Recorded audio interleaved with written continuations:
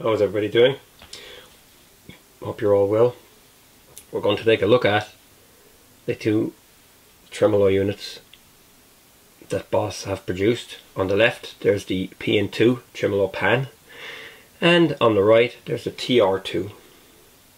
The PN2 was manufactured from May 1990 until around 1995.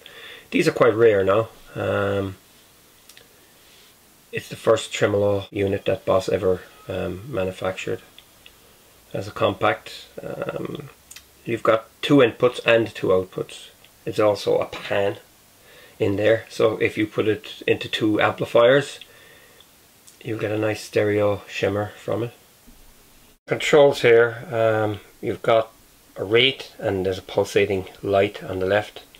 Then you've got your depth and then there's a mode um, you've got a pan, sawtooth and a square wave and you've got a tremolo, sawtooth and a square wave.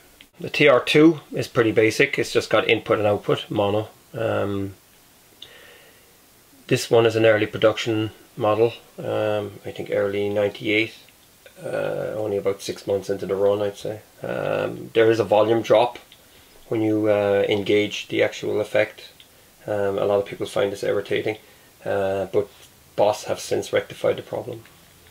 So this one's very simple. On the left you've got the rate and then you've got um, a kind of a hybrid knob and if it's uh, counterclockwise you've got the sawtooth uh, in the middle it's kind of between the two and when you turn it fully clockwise it's got the square wave and then you've got the depth on the right.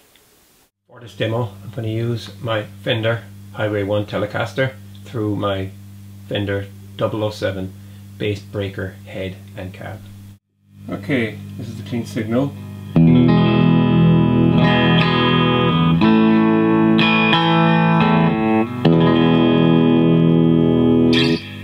First up is the PN2 in the sawtooth mode, everything is at 12 o'clock.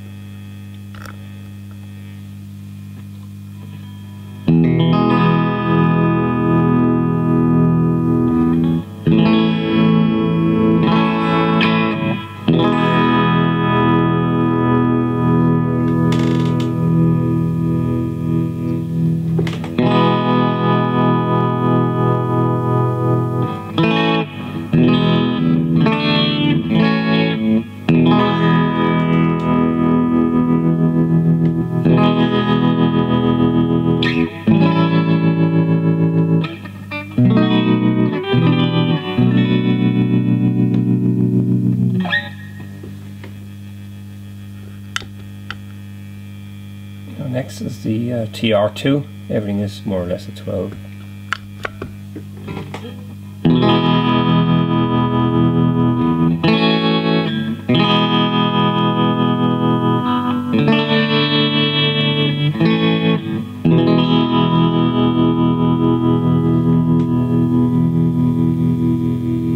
Full sawtooth.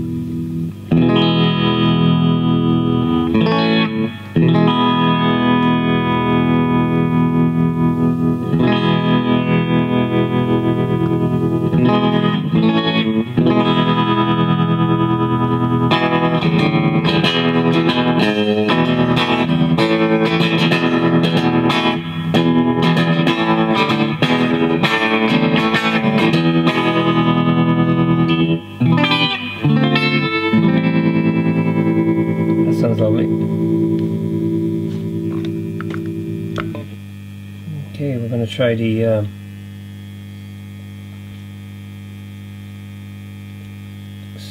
square wave on this one.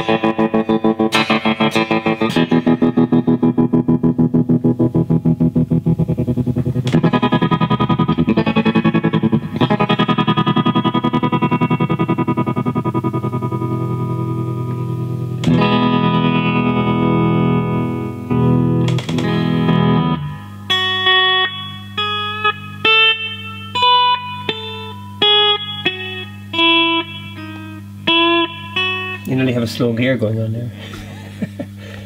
okay, uh, next. Um, a square wave of this fella.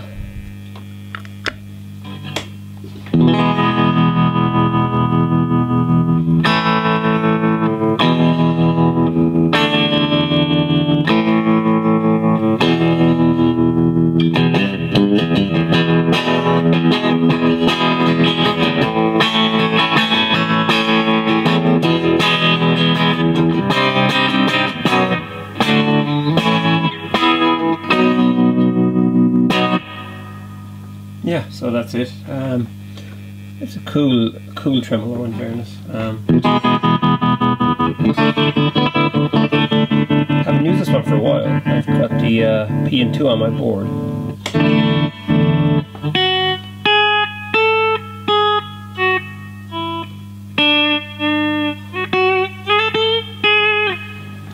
But uh, yeah, they're, they're pretty cool. These are very easy to find. Um, you can also modify the older one so that the volume doesn't drop. I don't really notice it here now. Uh, hang on.